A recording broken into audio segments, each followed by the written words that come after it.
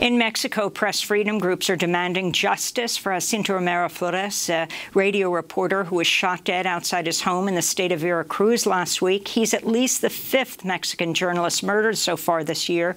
Romero was covering politics and crime and had reportedly received threats after reporting on allegations of abuse by local police. Mexican journalists are calling for an end to impunity.